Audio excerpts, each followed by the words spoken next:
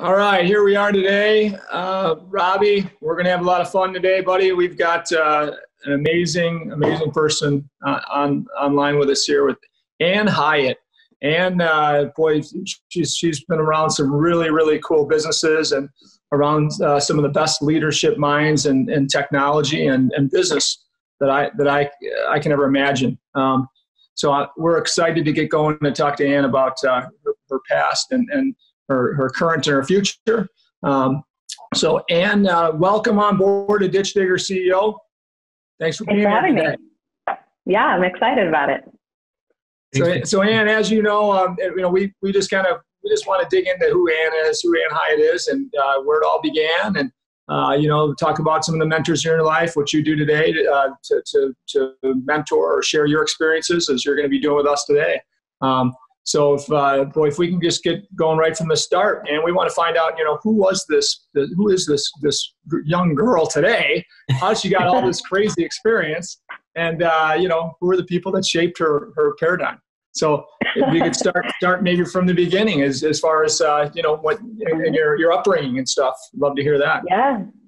My family is definitely a huge part of who I am today. They're the foundation upon which I've built everything. I was born, going back to day one, uh, I was born in Tampa, Florida on MacDill Airport, Air Force Base. My dad was a um, new, newly trained fighter pilot, and he was there getting his F 4 fighter jet uh, when I was born. So that's how I got started. My dad is, I am actually first generation non farmer in my family. From the beginning of time, they've always been farmers. Um, my family's from Scandinavia. They immigrated to the States, continued farming. But my dad saw his father have several heart attacks, and the lifestyle was really tough. Everyone in his family's genius level intelligent, and um, but he's the only of the four brothers that that left farming, although they all have advanced degrees in engineering and chemical engineering, things like that. Um, so my dad didn't think that lifestyle was for him, and so he just embraced the American dream and thought, "What's the coolest thing I can think of doing if I'm not going to be a farmer?" And he wanted to be a fighter jet pilot. Oh, wow. So he did it.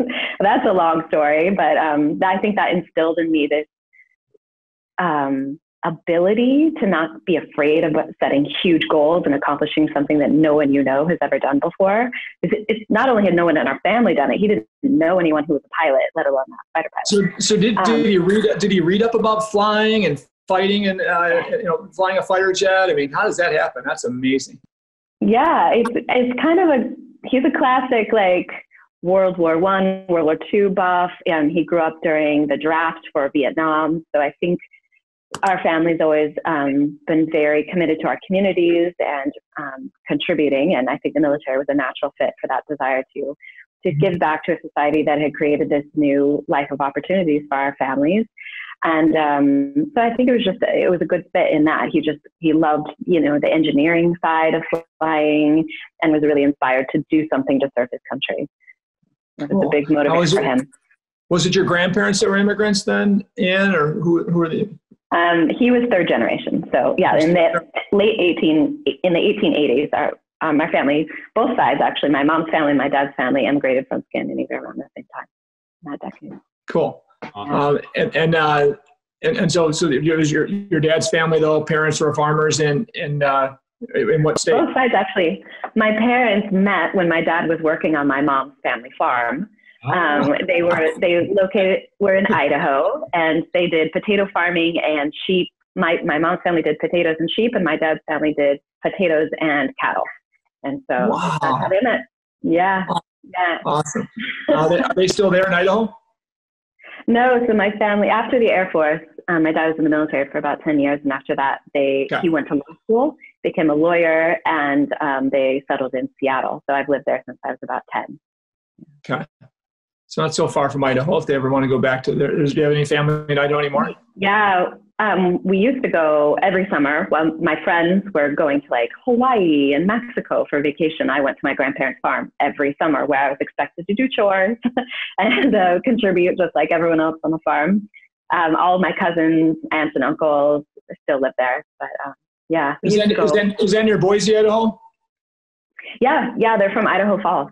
Mm-hmm. Oh, I love that area. I, my friend has a, a ranch out there that, that, we've gone to a couple times. It's so awesome. That's such a beautiful area. So, yeah. My, I mean, you don't, you don't, uh, but your family didn't, uh, didn't choose any, any flat land, any, you know, ugly flatlands anyway. They went to Seattle next and to, to, to That's right. the beauty of Seattle, which is awesome as well. And that move changed my life in a way they never could have anticipated because we actually live in Redmond. Um, we moved there just after Microsoft was founded. Our house is kind of now in the middle of what is a very sprawling Microsoft campus. My parents chose Redmond because my dad got hired with a law firm in downtown Seattle, but they're not city folk. So there's no way they were going to live downtown. So they went to Redmond because we could get this big plot of land. Our neighbors had horses. My mom planted a huge garden in the back. And our house is still that way. Like everyone else is subdivided and sub, you know, their, their plots. But my parents are still there on Education Hill, right in the heart of Redmond. And then this tech boom happened around us. Yes. Most of the friends of my parents in high school worked in tech, so I've been exposed to that in all my impressionable years. And I had no idea that that was going to become my future. In fact, it didn't look like a lot of fun in the late 90s when it was real crunch time and they were inventing the future of, of personal computing. Um, I saw a lot of my friends' parents be really stressed. So when I was, I went to University of Washington for undergrad, and while I was there, I, I graduated in 2002, so just after the dot com bust. Nobody in my graduating class had um, an offer or even an internship upon graduation because the economy was still suffering so much. So and, 19, um, what was that, 19 So the bust was between, was right around the 2000s. And so I graduated in 2002. So everyone had lost all their investment monies. Most of the startups had disappeared. Yep. The economy was really struggling in places like Seattle because it was such a tech hub. And so I worked at the European Union Center, one of my many jobs while I was an undergrad. And the director of that program asked me right before graduation what I was going to do after I finished school, because uh, it was a student position. And um, I didn't know I had applied a lot of places, but hadn't even heard back anything. Um, and so he said, "Well, have you thought of applying at Amazon?" And I, I, I think I wrinkled my face and was like, mm, "I don't, I don't think so." it, just, it, I, it didn't appeal to me at first. But his wife was um, in recruiting at Amazon. He's like, "I think you'd be a good fit. Like they, they like your kind of thinkers." And I just was like, "Sure." And I kind of sent a resume without thinking about it. And yeah, very whatever, long. Whatever. yeah, whatever. Okay. What position was that for? Sorry, say again. What, what position was that for that you were applying at that time? I think it was for a junior assistant. I had no experience as an assistant whatsoever. And it was a very generic description. So this is kind of a weird thing about tech, and it remains true today at most large tech companies, where you apply for a general category and they just want to find smart people and then they find the right job that fits you, your personality, your temperament, your how you fit into a team's culture. And so they're just interviewing really for skills. So the general category I was uh, applied for was assistant. And um, it's a long story, but the mini version of it is um, nine months later, I was hired as the junior most assistant to Jeff Bezos, the founder. It was through three rounds, each separated by three months. So that's why it took so long. Um, yeah. yeah, it was intense. The first round was with all of the assistants in the company, all the senior assistants. I think there were like 11 at the time. And then um, I didn't hear anything back for three months at all. And so I thought, okay, so that didn't work out. At least I got an interview, got some interesting practice. I continued looking for a job. Second time, they called me three months later and they had me come in and interview with all the SVPs in the company. And I thought, this is an enormous waste of time. Why would they be talking to me? Uh, it doesn't seem like good use of resources. Um, but what I didn't know is I had done really well. And um, Jeff was needing a new member of his team. And so, because I had scored well, he wanted his SVPs to kind of test me out. What I didn't know at the time was they, three of them had been assigned to make me cry. They wanted to find my breaking point to see if I could handle the stress and the pace yeah. and if I could handle myself. Um, but this is where my Redmond upbringing comes to an advantage because I knew a lot of people who are kind of on the spectrum. They're not like socially very graceful. So I just chalked it up to that. And I thought like, well, that guy's a little rude, but you know, no personal offense taken. um, awesome.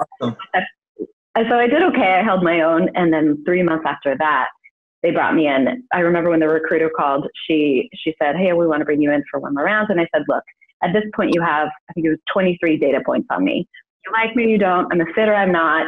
And she was like, "No, I promise, just one more. I'm sorry." Um, so I said, "Okay." I came in, and at this point, had I finally had another offer from another company. And I came in and uh, they didn't tell me I was going to interview with Jeff. She just took me all the way up to the 15th floor. We were in, back then, we were in the PacMed building, a former hospital, right up at the top of the hill overlooking all of downtown Seattle. And um, they put me in this conference room, and Jeff walked in, and I thought, my honest reaction was, well, this is going to be embarrassing. They put me in the wrong room. I, thought, I thought he was going to be like, oh, you're not this engineer. And my fears kind of continued because he sat down and he's like, hi, Ann, nice to meet you. Um, I promise I'm only going to ask you two questions. And he's like, first one's, um, first one's going to be a brain teaser. And then he, he stood up and he had all four walls were a whiteboard. He stood up, uncapped a pen, and he was like, don't worry, I'll do the math. And I thought, well, for sure, he's expecting an engineer. What are we doing math for? Um, I got nervous. But he just asked me, um, he asked me to estimate the number of panes of glass in the city of Seattle. And I thought, I kind of panicked for a second and I thought, okay, why is he asking me that? And I thought, okay, he just wants to see the way my brain works. Can I take a complex problem, break it down into manageable steps, and not freak out? So I told him how I would break it down and how I would approach it. And I thought that would be that. No, we filled all of those whiteboards with the math. It felt like it take, took hours. I'm sure it was minutes. But uh, we finally got to an answer. He circled it, capped the pen, sat down and said, I think that sounds about right. And then his second question was just like, tell me about you and, and what you want to do here. And by then, because I'd met so many people and I'd done my homework on the company, I wanted it bad. And I think I, people ask me all the time, like, why would Jeff take a chance on? I had no experience, no technical abilities, no, I didn't know anything about Amazon. Mm-hmm. Um, and they asked me why did why would he take that risk? And I I wish I had asked him, but the the answer I've made up in my head is I think he liked that I was smart enough good questions. I could break down com- complex things without getting frazzled. Um, I could hold my own among people who were very senior to me. And um, I was really hungry to learn. Like I knew that this was an opportunity to get on a rocket ship. And I didn't care what seat it was. Junior most person on the wing would have been fine. Um, but I just wanted it. And I think he felt that. And I also wasn't like starstruck by him. He had been Time Man of the Year in 1999. And everyone in Seattle knew him. He was you know, one of the first celebrity CEOs. Um, so I definitely knew who he was. And I think a lot of people didn't talk to him like a normal, regular person and got flustered around him. Sure. And, uh, here I was, this like 20 year old who was like, whatever, you hire me, you don't. So, and I'm so glad. So how much of it do you, I mean, do you believe was, I mean, I mean, I, I can envision, you know, if I'm, if I'm looking to hire somebody and their, their, you know, fathers, parents as a fighter pilot, they're, they come from a farming, farming family, hard work, right? Uh, you know, just just a brief story you told of your history says character, says great character, says grittiness also, right? I mean, we all, you know, we all want people that are compassionate to, to be on our team. We all want people that that are smart, right? But you get grit's an important thing, right? To have, have have a backbone, not to be offended by as much as some people are, right? We, we need people at our side that that you know can take a punch and then and then give it back, or you know just take the punch and and uh, and, and be smarter, you know, learn from it, whatever that is, right? So again, I, I, I, I, see that you know, automatically in you. I'm, I'm guessing that he did a lot more homework than we're talking about, and he knew all about you, right? He knew all about your family, your background, the grittiness that, that I can tell you have already, right? Yeah, so I think another factor of that is the fact that I'm the oldest of seven children. Oh so wow! Gotta like hold your own, be a self starter, be independent, oh, yeah. work well and autonomous, uh, autonomously, and you have to be highly collaborative. Because if you Absolutely. want anything to work, you got to get people on your team. You got to get everyone organized. Because goodness knows, like no one was going to do it for me. So I think that's a huge part of where I get my organizational skills, my creativity, my communication skills, and I'm, you know, I'm a Libra. If if that means anything to you, like I'm definitely a balancer. I want everyone to be happy. I want everyone to kind of be um, used to their best abilities, and that's a big part of how I collaborate, and and a big part of how I manage up, which is the tricky part when you're you know the least powerful person in the company whose job description is to is to basically boss around the most important person in the company. Sure. Well, but, but and you also saw a father, right? That that uh, was a leader in life that, mm-hmm. that had to answer to, to extreme leaders, right? And be respectful, but probably challenge, be objective, right? So, you know, hmm. besides being a leader in your family, you watched this leader in your life, probably. I'm guessing. I'm just guessing, right? I did. Hold himself accountable and and uh, you know take take the heat sometimes and take responsibility. Maybe when it wasn't even his responsibility, right? These are all character traits. that, these are all character traits that that create uh, you know amazing leaders you know themselves. So I mean, I, these are these are things I look for in leaders all the time, right? Military. I, I love the military. I, it's one thing I'll. If I there's one thing I regret in my life as I look back is I didn't you know join the military at some point in my life. But uh, but but I but I uh, I love and honor my, my friends and my family that have served and anybody that served right? Is it's it's a, it's the coolest thing you can do in my opinion is give that uh, the highest level you know your potentially your life for your country. So so I God bless your my, dad. God bless your dad. Thank I, you. I, if I love a, if my dad ever has a hard day, all we have to do is ask him to tell us a Air Force story, and he perks right up and gets a huge smile. um, but I think that upbringing absolutely is influential on me, where my priorities are, my temperament, my personality. You're absolutely right about the heavy dose of humility that has to come. It's interesting to watch him because he was with the elite of the elite of the elite in the Air Force. And it's interesting because those people have to have big egos because you're, you're, you know, many of them are 18, 20 year olds who are then going to be flying billion dollar machines. And you have to have some dose of ego and confidence that like, give it to me, put me in that seat. I want to be the one, you know, the maverick kind of personalities. But my dad, actually, I hadn't planned on telling the story, but the truth, it, it seems to flow here.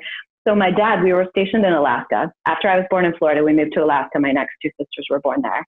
When we were what, in Alaska, what, what, we're in Alaska. What uh, Anchorage was it? Anchorage, Alaska. Okay, all right. In Elmendorf Air Force Base. Yeah. Right. And um, while we were in Elmendorf, um, some movie producers were writing a movie about pilots and they wanted to understand the lingo as they were crafting the script. So they got permission to get the cockpit recordings from my dad's um, squadron. And so year and a half later, when the movie was coming out, the Air Force was like, you know what, we're not sure. We're super comfortable with this. Like they pulled the permission for it to be Air Force. The movie came out with it being Navy pilots. That movie was Top Gun. My dad's call name is Goose. I, he flew with Maverick and Iceman. I grew up, with, I mean, in the neighborhood together. Like that's the people that formed my childhood. Wow. so anything, that's my claim to fame. That's my good party story if I want it. If everyone. That's awesome. How, how long were you in Anchorage, Ann? We were there for six years. Long time. I love Anchorage. I love. I, I uh, We, so we, we have a, one of our businesses, or one of our bigger, larger businesses. We paved parking lots all over the country and so we, my my uh, son, I think, was running the business at the time, or much. No, it was another. Anyway, the, the, leader of the business at the time, um, I tell him if you get some jobs to run that are you know in places I like, like Hawaii or Anchorage or whatever, just give me a shot. If I if you can tell me ahead of time, I can push everything aside and go run the job and have some fun, bring my wife and family there and all that. And so, sure enough, it went one day. Say I got a, job in Anchorage. I said, "Wow, when is it?" He told me when it was. It's like a month away. I said, I'm going to schedule around. I'm going to run that job. So sure enough, I did that, and uh, we spent. It was supposed to be a two and a half, three week job, but I, I pushed things pretty hard. Got it done like a little over a week. But I, we loved the week there. I had my wife come, my my my son, who my adopted son, our youngest, is very young then, and my, one of my my daughters, who actually runs our companies today, Janelle uh, flew out for four or five days to be there too. But it was so much fun. I, I worked. I pushed all the work at night because it was light all day. It was only dark for like mm-hmm. know, an hour a night or something like that at the time.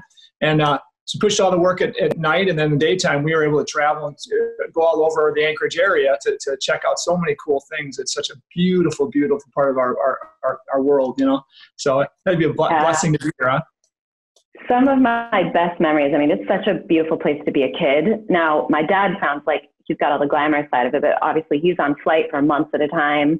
A couple of years in a row, he missed Christmas and Thanksgiving, and it's just it was a real sacrifice. My mom was the reason it all held together. And my mom was very young when they got married. She's eight years younger than him, and she was suddenly pulled out of this farm life she'd known her entire life and dragged all over the country. And my dad was here and then not here, and then she had the, all these little kids. And she created this beautiful creative environment for us. She's an artist. She's an oil painter um, learned that from both of her parents were oil, oil painters as well. And she just inserted this creativity into our life and in, in such rich ways. She's the other half. I'm a, I'm a good blend of my, my per- parents' personalities. From my dad, I get my very analytical side and my, my drive, like this thing I just can't turn off to like always be better, do more, get, you know, higher. And then from my mom, I get like the emotional intelligence, the creativity, the appreciation for beauty and people and uh, community. And so, yeah, she created this great environment for us where while it was very hectic and you know, some very intense things happened while we were there. A couple of my dad's people in their squadron died in a training accident while we were there, and it was really it was intense. And a lot of kids had a hard time, you know, with constantly moving. But she just created this base for us that was really grounding. And um, yeah, she would take us on adventures. She wasn't going to sit around and wait for dad to do that. She would tie bells on our shoes, and we'd go hiking hiking in the hills behind our house. And the bells were so we wouldn't scare any bears because they were everywhere. Or we'd go fishing, or we'd go, we'd plant a garden. We just had this well crafted childhood to make sure that we had a sense of stability and self. What, a, what an amazing blessing. Because, you know, again, I, we, I, I mentor a bunch of different people that are business leaders, you know, from very small to mid sized, let's say business leaders. And, I, and we have um, 10 different organizations within the Ravine Group. So I have all the, the CEOs and leaders, presidents, GMs, and, and so what I find is exact what you just said makes the best CEO because uh, you know we I, I, can I can tell you we, we had a gentleman on earlier Nick uh, Matthew was on our show here because Nick is uh, Nick is an amazing young leader um, but he's got both right side left side brain. He, he's very analytical. He's an engin- he's a civil engineer with a, a PE and a civil engineer with an MBA did it all while he worked, right? Didn't didn't just go to you know regular co- con- uh, conventional way. He actually worked and went to school the whole way. Bottom line is this: this guy uh, we hired, and I realized he was very smart, so I wanted to lead one of our businesses, and eventually did. But what the coolest thing was, he had this cre- creative side and this entrepreneurial mind, and and this this compassion for people and the ability to inspire, right? So engineers, are, uh, we have to have a lot of engineers in our businesses, and, and we love engineers, but it's hard to find engineers that want to inspire and have that have that uh, that that creative side too. So Nick is that, and Nick is growing this little business that we started with. We started from nothing. Uh, Nick was doing a, uh, a little bit of business on the side before he came to work for us, and it's called pipe televising, where we put robots underground. We televise the condition of pipe. So it's kind of like a tech service construction business. It's a it's a weird it fits in a weird category. But Nick has the tech mind, he's got the engineering mind, he's got the inspirational mind. And so he's growing this business in leaps and bounds. In the, in, in the tough economy that is today, over the last couple months, he's hired 25 people. And, and any competitors are, are laying people off, right? So, so anyway, it's so much fun to watch somebody with both right side, left side brain work because it, it's, uh, it's a blessing. Uh, usually, if you're if you're strong if you're strong on the inspirational and vision side, like I am, right? I need people around me that have that the organizational skill, the strategy skill, and, and execution skill. And uh, I'm constantly thinking that way because I'm good at I'm good at execution initially to build the plan, but then I want to get out of the way. Then I want to think of the next thing, right? And I want to what, what's next? What's next? Um, I wish I had a little more of, of you know the organizational skills that you have combined because I might be a little more dangerous that way. So, so I, I love I love I love uh, you know how, how, you put that. But yeah, so sorry about that. Go, uh, if we, no, yeah. I like that. Go continue. No, I think that's so true. So they, so they definitely saw this in you. T- tell us, uh, you know, where it went from that from that that 2001 or two was that you went out you came on board. 2002, I started at Amazon, and at the time it was very different from the Amazon we all know today. It was yeah. not yet profitable. They had had one single quarter that was profitable, but overall still losing money. A very anxious board of directors because they had lost all their money invested everywhere else in the dot com bust. And so all their chips are in with Jeff. And all the faith and value of the company is based on a faith in Jeff. And he was well deserving of that. He still is. Um, he is just an exceptional human and unlike anyone else I've ever met. Um, so I was there for a couple of months and I um, started to be, I started to realize how terrified I should be having this job because I had no idea what I was doing. Not, not only did I not know how to do my job, but I didn't know what Amazon was supposed to do. What what did success look like? What was Jeff working on? And so I just decided, okay, I'm going to treat this like school. I know how to do school well. So I'm going to come in before anyone else. I'm going to read every briefing document, every single email in his inbox. I'm going to Google all the terms I don't know and all the people I don't know. And I'm just going to, because Jeff was a, um, this is a commonality between all of the CEOs that I've worked for, but they, he's, um, he's insatiably curious and he's an avid reader and he just consumes massive amounts of information. So any book I saw him carrying or newspapers, he read every day, the New York Times, the Wall Street Journal, the Seattle Times. So, so did I. I just wanted to fill my head with all the data I needed to just have an impact there. I knew I was in way over my head, but I loved it. So it was in that environment where I had my first big project and if anyone has heard me speak anywhere else, you've heard this story. But I, um, one of my first big projects was I didn't know, and nobody knew at the time that Jeff was building his private space tourism company, Blue Origin, and he wanted to go to Texas to buy some property. He asked me to help him with that, and so um, long story short, I hired my first helicopter. Jeff went down to Texas, viewed five or six different properties, came back super excited. I mean, Jeff is like a zero or a 100. He's most of the time he's at 100. There's nothing in between. And he came back just really excited about what he was building. Um, and he said, "Great, next week I want to go back. I'm gonna. I've narrowed it down to two of these properties. I'm gonna buy one." And so I was like, "Oh, cool! I've got a helicopter guy now. I'd never done that before, but I was starting." like, helicopter guy, very good. Sure, I, that was not in my re- Rolodex prior to working at Amazon, but I, um, yeah, I was getting more comfortable with like private jets and helicopters and all that stuff. So on the second trip, um, the short story of it is I was sitting at my desk early in the morning, same thing, the only person in the building doing all my self imposed homework, and my desk phone rang, and it was his jet pilot. And they said, I don't want to alarm you, but we've had an emergency beacon go off for a helicopter crash. They're in the middle of nowhere. My hands start shaking. It's obviously him. And I don't know yet if he it wasn't him or if he's dead, if he's alive but seriously injured. And I thought, okay, I'm 20. I've been at this company for four months. I just killed Jeff Bezos. I, that's it. Someone's going to fire me today. Like I think that's a fireable offense. Um, so I called my first emergency board meeting. Nobody knew who I was. I've been there four months. They didn't know my name. Um, but yeah, we put together an emergency board meeting to be prepared no matter what the scenario was. Um, and luckily, he once I finally tracked him down, um, he was fine. Obviously, he's fine. And um, he just said he did the board meeting, told them not to do any proactive statements because he was trying to keep it real quiet while he was in Texas to build Blue Origin. Because this was in the height of the space race when we were doing like the Space X was entering the space, doing the X Prize. This is in the top of, of that competitive space, and he didn't want Elon Musk and other crazies to know he was going to be jumping into that as well. So once he talked the board out of doing anything proactively, he asked to speak to me, and I thought, well, this is the moment that they're going to fire me now. Um, and instead, he just said, um, "Ann, I hear you're really good under pressure." And he might have said something after that, but I think I like my ears started ringing. It was like the nicest thing anyone's ever said to me. I will never forget it. And um, that was an important moment. I'm, I'm actually glad it happened. I wouldn't ever want that day again. It remains the worst day of my professional life. But I, um, it was a turning point. And even though I was only a few months into this job, it changed the way that he saw me. I was no longer the 20 year old who had no idea what she was doing. I was someone who could be relied on to do really hard things and keep a cool head. And more importantly, it changed the way I saw myself. And so, so I just thought, all right, I'm going to jump in. I'm going to ask the right questions. And it, um, anytime I had a hard day, there, there were many after that.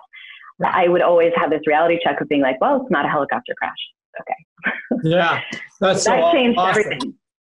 For the, so, for the so next two and a half years I was there, I was there three, almost three years. And it, that changed everything. I got thrown into projects that were way above my pay grade. I didn't really do my job description anymore. It was just like special projects and coordinating stuff on, on his behalf and with his, his shadow. And um, so, yeah, so, Ann, so, so Ann, um, just to, just to, to, to, chime in here, I mean, I, I talked about to this to Bonnie, and I've talked to other people. I've got uh, many friends of mine that are women CEOs. They're awesome, awesome leaders, and they and I and I'm I'm in forum in YPO forum with a couple, mm-hmm. uh, and uh, what I noticed, and I, I talked to my daughter about this, my wife about this, my assistant, who are who are all amazing leaders that just you know get it done. And and what I see in, in them, and I see in so many so many really smart women, is is they they don't jump right in if they don't have all the answers or most of the answers. Right when when a dumbass like me, right? I mean, I, I never had all the answers, and I, and I and I, I would say, gosh, if I if I knew twenty percent of something, I would raise my hand to lead something in a leadership organization I'm, I'm in, or of course my own business. It was natural, just lead wherever I I, I had to. But uh, I, I, I, see so many uh, you know, women around me that are so much smarter than me, if it's not that tough, but me, and then and other men around me. But often they're, they're not raising their hand because they don't know 95 or 98 percent of the the, the, the, yeah. challenges ahead. They might only know 10 or 15 percent, right? And then, and then and then a, a, man next to them will, will raise their hand and say, "I got this. I, will I'll take this on." And you can look at the person. No, they don't have five percent of the, the, the, challenges, uh, the, the answers of, of the challenges they had, but but they, they're the ones that raise their hand. So again, what do you say for, uh, as far as that goes? I mean, because you you know you jumped into this and and uh, you knew you had to you know just dive in and learn everything you could. Um, but but again, it, it, probably became your history from there on, where you just said, eh, "I got it. Okay, I, I got it. I know I can study the, the, the subject matter of, and find the right people and look for the right people." And I, I you, know, you probably very often raise your hand after this point, right? And saw your saw your dad as this and your mom as this in, in the beginning anyway, or you wouldn't have done what you did. So, right. can you explain that a little bit? Yeah, I I would love to say that I'm an expert at this, and I don't have those moments of like pause or holding back or doubting myself. I mean high performing people always experience imposter syndrome and that there's just no escaping that. That's just part of the burden you have when you're putting yourself out there. Um, but i i am conscious of that fact and i my entire career in tech for 15 years was mm, most of my days. 95% of my days i was the only woman in the room. So you just have to. I've definitely you know had times where I, I was more timid than i would have liked to or someone you know, I would say something, it didn't resonate, and then a man would say it five seconds later, and then it resonated. And mm-hmm. so there, I've definitely experienced that. And I've never experienced proactive, like bias against me or anyone, you know, saying I couldn't do something. But it really is that, that women are trained from birth to be nice and not make waves, to serve the community and not self. And it's just, it's, it's too much to expect the woman herself to carry that entire burden of all the societal training we've got our first breath, and take it upon herself to just get over it. Mm, yeah. what we need is leaders who really are thoughtful about that. Eric, who I worked for for nine years at Google um, as CEO and as executive chairman, he um, was very good at calling on the quiet people in the room because he said those are the people who don't just want to hear themselves talk. They've actually been thoughtful and contemplative. And so he actively and it terrifies people when they haven't been in a room with him before because it's often the junior most person who's just sitting there respectfully and he'll be like what do you think? And one is because he he knows that there's this self filter that happens and and um, he also knows from experience that um, calling on underrepresented voices changes the conversation often if you call on the junior most person in the room they have beautiful novice perspective which is why mm-hmm. he, Larry, and Sergey designed Google to be a system with really clear direction from the top, but bottom up innovation. Like our best ideas come from our interns, people who are brand new from there, because they don't carry this burden of the way that things have always been done. They don't know what they can't do yet. And so they come at things in really creative ways. And so Eric is very proactive in calling on people. And I try and do that now as I'm in positions of leadership. I'm on boards of directors, board of advisors.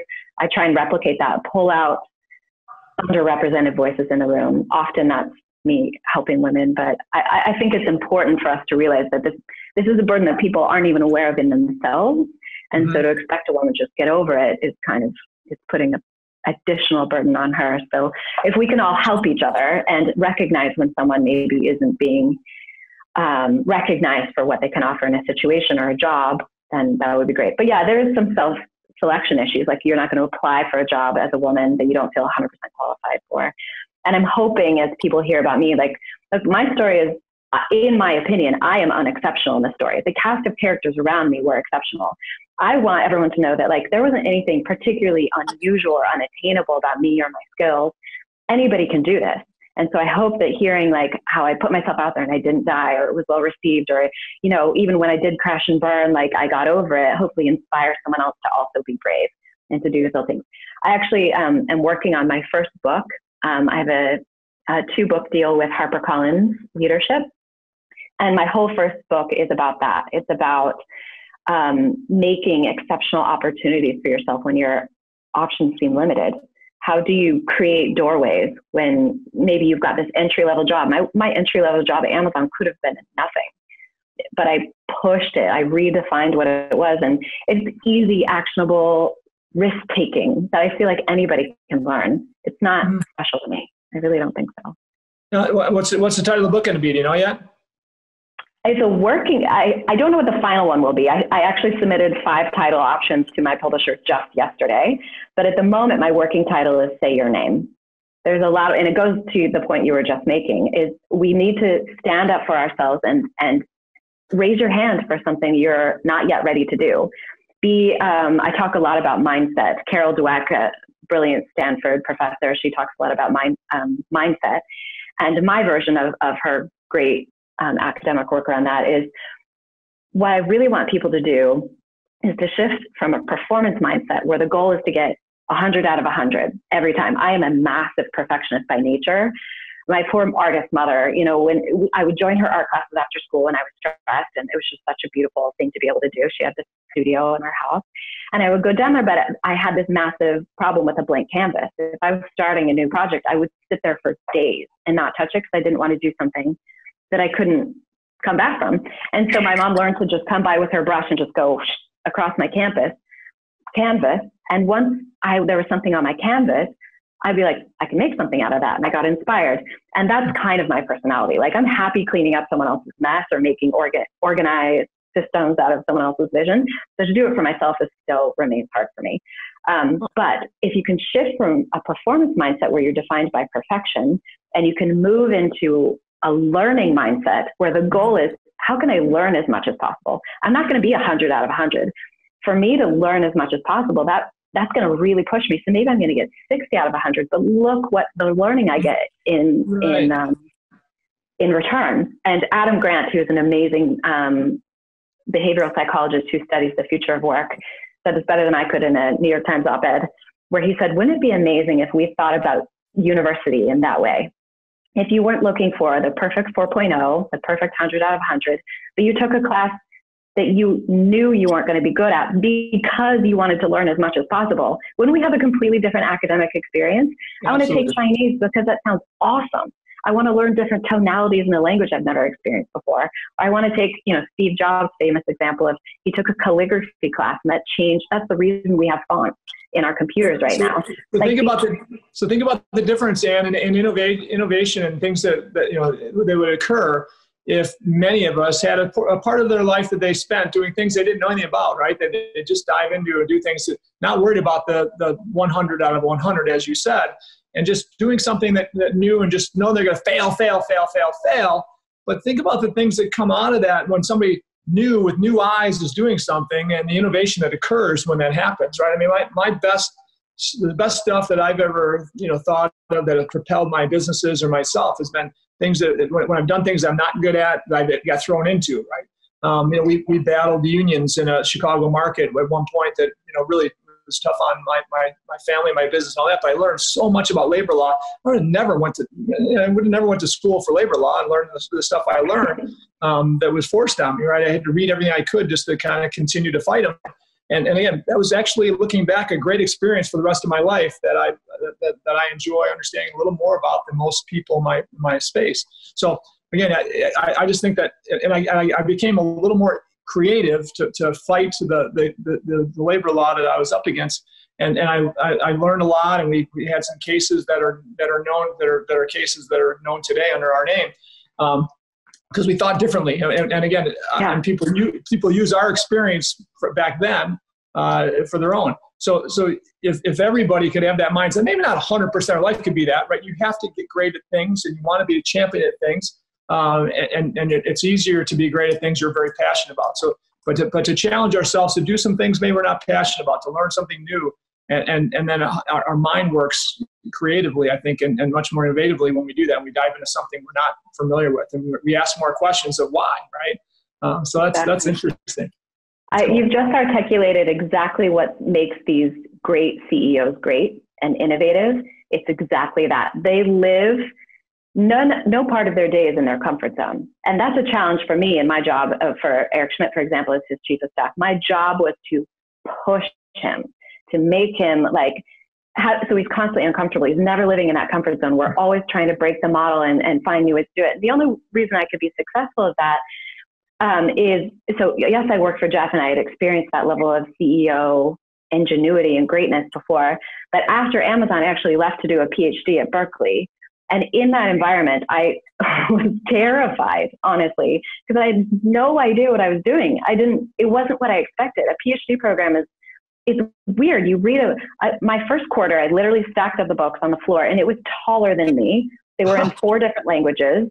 And uh. I was expected to read a volume of material I had never done before. And then class was literally sitting in a room. There were only three of us in my program. And we just talked for four hours. Like there was no, I was like, how do you grade me? And that yeah. I had to learn. That was a big shift for me out of this performance mindset into a learning mindset. We were there digesting this massive amount of information. And the goal was just talk it out until we got to an original thought. And I took me so long to get comfortable doing that and being in that space. And I had no idea that it was actually preparing me to be successful at Google, who then recruited me a few years into my program. I could not have been successful sitting. Look, I professionally have been the dumbest person in the room for the last 12 years. Not because I'm dumb, I am not, but because of the room I sat in. at the table with like Nobel Prize winners and celebrities and heads of state, and I had to be comfortable being. I, uh, Eric had me at that table because he knew I had that novice like we he purposely also made himself a novice at every table. We would seek out Nobel Prize winners in fields we couldn't even pronounce, and we would sit there and just ask the dumb questions, and that would always bring a new insight. Um, when you get that, that level of expertise there and you can hone in on something new, that's when innovation happens. Awesome. And, and again, you know, do you miss anything now that you got that PhD, right? For me, I'm still the dummy in every room because I have no, no real education beyond high school, right? So, so, I still walk in every meeting I'm in and I know I'm the dumbest in the room ac- academically, right? But, but I warn people of that and I ask dumb questions that give me answers that hopefully make me a little smarter. And, and again, so what I do find is I have friends that are really highly educated and, and sometimes they, they, they think they know more than they know, and they don't they don't know what they don't know, right? And, mm-hmm. and so I think that's it comes as a deficit sometimes when somebody is educated so well at a young age, and they, they they've spent their life and labor educating, right, to be so doggone smart in the things that they've learned so much about. Sometimes they, they, they don't ever, you know, they, they get into a real life situation of leadership and they, they're embarrassed to ask a dumb question, right? Or a question they think is yeah. dumb. And so did you lose some of that but with that phd or did you, did you continue to say i'm still going to be that the, the, inquisitive objective mind that doesn't know it all um, my phd was tough. I, it, it was really hard. Honestly it took me a good year to get into i was just getting, getting into the groove of it when google started recruiting. Um, actually i was in lockdown with my parents in seattle um, during this covid outbreak. I had been in the states to speak at a conference, got stuck. I live in Spain now. Spain closed its borders, and I was home with my parents for a long time. And my dad, literally, we were talking about. I mean, he's seen me do press interviews and um, consulting my clients and all this like high level stuff. And he literally one night we were talking about school, and I, I have an, a sister who's just finishing her undergrad and is thinking about a master's. And my dad um, turns to me and he's like, oh, "I really wish you'd finished your PhD." And I, he didn't mean to hurt my feelings, but it really hurt my feelings because I thought like he thinks my career was a mistake. and that's not what he meant by it at all. I think it was just like that value for him. It's you know it's another level of accomplishment of like his sacrifice taking those big risks is you know you have a paper to show for it and i just immediately defend i was like do you know if I'd stayed in my PhD, like nobody would have read what I wrote, like two people. Now I've presented my ideas to heads of state and celebrities, like the impact is immeasurable of what, yeah. we've done. But I think his point was that of like, the value of learning for learning is something that's so prized in my family. Absolutely. Um, I want to preserve that and I want to live in that space where you're constantly curious and hungry and you don't think all your ideas are good. So to answer your question, it's like it's a balance of the two. I think you have to have a level of like confidence to in order to get to that point of humility where you can invite that level of criticism. Mm-hmm. Jeff Bezos, um, Jeff and Eric, my two major CEOs that I've worked for, both went to Princeton and both were exceptionally bright from like birth. They're just gifted people. Mm-hmm. Eric went to Princeton very young. He graduated from high school very early. He doesn't really talk about that much but he was very young in this academic environment where while he was the smartest kid in the class, he wasn't necessarily like invited to anything because he was a kid. Um, so they, they both came from these, while they were exceptionally bright, Jeff grew up on a farm in his grandpa's ranch in Texas. Um, Eric was just had to be scrappy from a very young age to fit in and they both never lost that. They just always felt like they had to like claw their way into respect and, and fitting in and, and being in with the cool kids. And that's this beautiful side of them is like they know they, they're exceptionally bright. Um, like, for example, Eric, while he was CEO at Google, or even before Google, when he was realized his life was going to be a CEO and he was going to live on a plane, He decided that if he was going to live his life on a plane, he wanted to do the fun part, which is fly it. So he became a fully certified commercial air pilot, so he could fly his own jet. that him being able to do as a hobby what other people spend their entire life dedicated to is nobody else can do that. That's just yep. um, that's the level of like quickness. Like he he can just you know he has to do all the regular certifications that professional pilots do, and he will just cram massive amounts of information before he does each of those recertifications. So awesome. there, there are people who live comfortably in that space, and there's something just so. I'm so grateful. The rest of my life has changed for witnessing people who surround themselves with people. Not only do they expect people to be exceptionally bright, they expect them to push back. Jeff had a um, at Amazon. He had a role then called the Shadow. It has a more official name now that I don't remember. And the shadow position he created because it, it is lonely at the top. Nobody knows everything, and he needed a peer to bounce ideas off of. He wanted that, you know, academic style peer review. So my first year at Amazon, Jeff's shadow was Andy Jassy. Andy Jassy now is the CEO of, um, oh gosh, I just forgot, flew out of my brain what it's called. Uh, I want to say A9, but that's their search company. Out of, um, what is it called? Oh, Amazon Web Services. So Andy Jassy is now the C, uh, CEO of AWS, Amazon Web Service, Services, which is the platform upon which all startups are built now. It changed the world. But when Andy came in, he knew nothing. He was just a young, promising, really exceptionally bright person that Jeff wanted to train. He wanted to train him to think like he did, ask the questions he would ask, like what he likes, hate what he hates. And he basically cloned himself in the body of Andy Jassy. And so Andy then went on to do greatness. Now that takes a very humble person because Andy's job description was to push back on Jeff, to read everything that he read, sit in every meeting, and to be there to be the devil's advocate, to push him. Have we thought about that enough? Have we, should we analyze this? Maybe we should pay attention to that guy. And Eric constantly did that. I mean, he he refused to be with people who told him all all of his ideas were good and all his jokes were funny. He awesome. just craved that challenge. Yeah. yeah. So, so we try to do that. I mean, we push that for the same exact result. I mean, I want all our leaders and, and to be to expect to be challenged on a daily basis. We have core values that we believe in will drive will continue to drive our business to success. And and if and we if we're living outside those core values, we want to be challenged, right? If there if we have an idea that we're gonna we're gonna execute on. We want everybody in the room to challenge the heck out of it, right? And and you get the best out of people that way. If you're in, and if the, if your culture is that that that recognizes this is what you reward, right? Then you'll get it if you can, you can talk about it, and, and, and, early on, I talked about it a lot, but I didn't reward anybody or, or, you know pat them on the back even when they challenged. I was like thrown back for a minute, and I'd think, oh, oh, oh, I guess that was hey, good, you know, good question, thank you, right? but but it, it, took a while before you, I embraced it or anybody really embraced that culture. But now that you know, we, we definitely have that in our, our organizations, and it's so much more fun when any a person first day on the job is welcome to challenge and welcome to question anything around them uh, and it's still tough to, to for somebody new to, to, to buy into that culture right away. They're still afraid for a while. So you just have to make it so acceptable and actually pat people on the back and reward them if they if, if they if they're good at it, right? If they like doing it, and you got to do it in a, in a, way that's not that's respectful and all that. But that that happens, right? That that's natural to most people. Of course. But but but again, to, to you know to talk about that, I mean, I, I, I mean, any great organization, I, I feel like has that.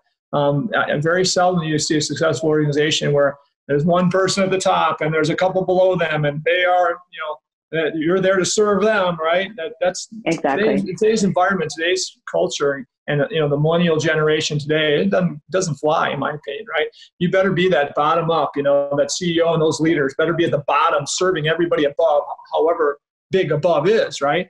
And uh, I, I, think that uh, you know our, our, our American entrepreneurial culture is so much better today for that mindset. Because you know as, as you know your dad would tell you you're too young to remember but man it was you're the ceo they're there to serve you right? I, have gotten to be the executive vp and now these people work for me right? Uh, we, right. we want the mindset to be sorry man now that you're this ceo or president now you're there to serve everybody. You better be there to answer every phone call to, to respond to everybody that's there to serve you and it's not just your teammates, right? It's your customers, it's your vendors, and, and that makes a great CEO, right? So, I so couldn't you, agree more. You've seen it. You've seen it from one of the, the best organizations in our in our world's history, which is yeah. is so cool, right? You've seen this at the, at the highest level, at, the, at one of the coolest organizations ever ever built in our in our world's history, which is uh, yeah. amazing to think about.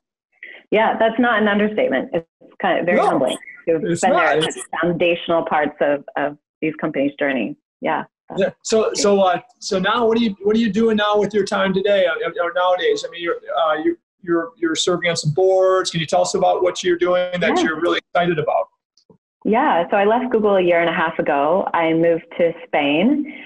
So that's dramatic cultural whiplash, going from the heart of Silicon Valley, the ultimate, you know, in terms of pace and ambition, and now I live on the Mediterranean coast in Spain. Um, what, what made you choose Spain? What was Tell us about that. I fell in love with I fell in love with the Spaniard is the short version of that. Uh-huh. Um,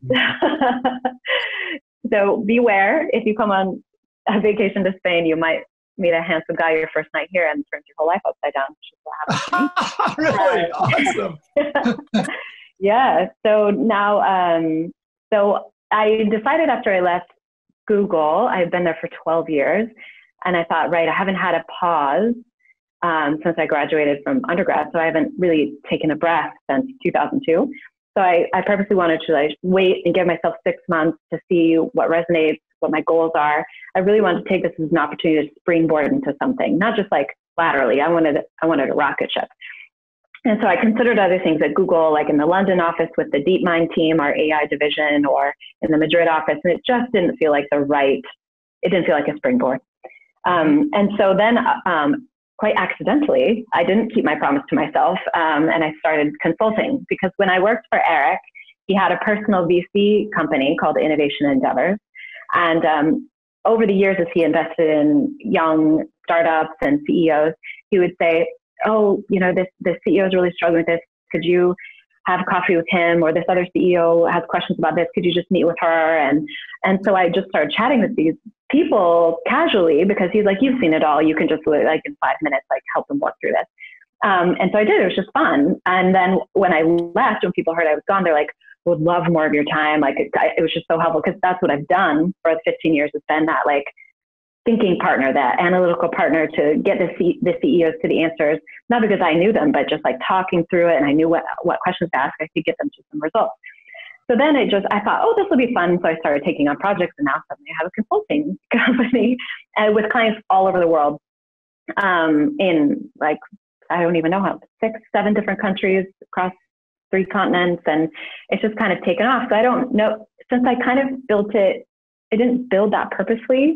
Um, I still consider myself in experimental phase. So right now it's been a great education because um, they're CEOs in very different industries, different growth stages, and have different challenges. And I'm learning about how the Silicon Valley model for innovation, growth at scale, et cetera, does and doesn't apply in the European market. Most of my clients are in the UK. Um, and so that's been a great challenge to me is how can I repackage these skills, my instincts, these lessons I've learned to help out entrepreneurs here. I would really love to stop seeing so much brain drain from Europe. I'd love for them to be able to build these corporations, get their startups off the ground here instead of having to go to the States to get that level of funding, to get that traction. Mm-hmm. Because in the States, it is very different. It is much easier to be an entrepreneur there. And so I'm trying to get involved in some government um, proactive programs to build better incentives for entrepreneurs here in Europe. And um, yeah, I've got a couple of exciting things on the horizon. Haven't fully taken shape, but I've I've been feeling some moonshot opportunities are just around the corner. You absolutely, you're going to have amazing moonshot opportunities with your your mind and your experience and in your youth. You've got so much opportunity. It's unbelievable. I love that you so keep calling me youth. I don't. I'm not going to. You're, you're a kid, doggone it. For, you know, I, I look. I feel like I'm a kid, and I'm I'm I'm an old guy now. 50. I just turned 57, right? and uh, and I've got so much more, you know, in, in my tank, and I'm gonna have a blast doing a lot of things just from my my, my experiences, my hillbilly experiences, not not my uh, you know amazing experiences that, that you have. So you're, you're going to be such a, a, blessing to so many people. It's going to be blessed. Actually, I, I would love to know more about that. I mean, another call to understand everything you're doing because I, I am in front of a lot of different CEOs and startups, and I'm, I'm invested in a bunch of different startups that some some with I think are um, amazing opportunities for to change change our world and and some uh, just little friends friends of mine start something and I invest with them but either way it's so much fun to do that and, and I, I, I think there's I definitely have some ideas of some some businesses that you would be an amazing, amazing board member if you you're doing that and, and stuff like that. I know you're you're only yeah. to be able to so much on your plate, um, and you're gonna your demand is. Gonna, Every time I travel, you know, pre-crisis when I was traveling constantly, because like, let's be real, like a girl from Silicon Valley moving to small town Spain, like I, I, I can't just stay here.